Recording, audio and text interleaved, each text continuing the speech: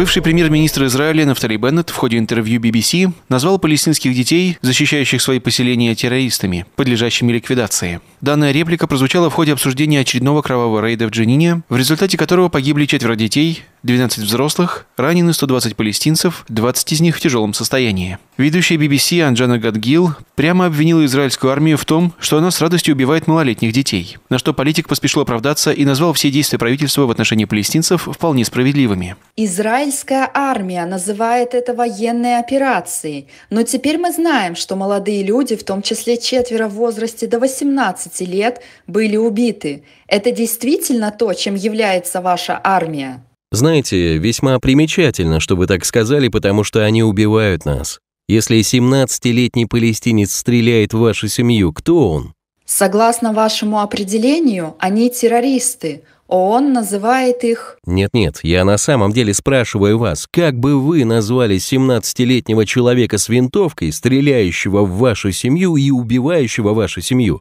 Как бы вы определили этого человека?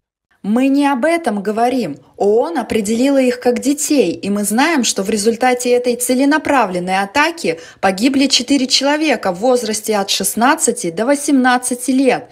Не будем забывать, что это целенаправленная атака. Израильские силы идут и ищут этих людей. Знаете, 17-летний террорист может убивать мирных жителей. Есть фундаментальная разница между тем, что они делают, то есть явно и преднамеренно нацеливаются на гражданских лиц, и тем, что делаем мы, нацеливаясь на террористов. Мы поступаем правильно. Армия обороны Израиля начала масштабную антитеррористическую операцию в городе Джанине 3 июля. Высокопоставленный правительственный чиновник страны заявил, что главная цель операции – покончить с ролью Джанина как города-убежища для террористов. По его словам, операция продлится столько, сколько потребуется. В военных рейдах, по различным данным, участвует более одной тысячи израильских солдат. СМИ сообщают о десятках погибших и раненых в результате ряда ударов израильской армии. Палестинское военизированное движение «Исламский джихад» назвало операцию резней и обещало дать на нее ответ.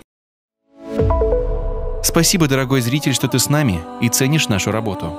Команда Алиф ТВ каждый день старается для обретения довольства Аллаха в обоих мирах. Ты можешь поддержать нас, просматривая наш контент через VPN – а если у тебя есть возможность, можно просто оформить спонсорство. Алиф ТВ. Один на миллион.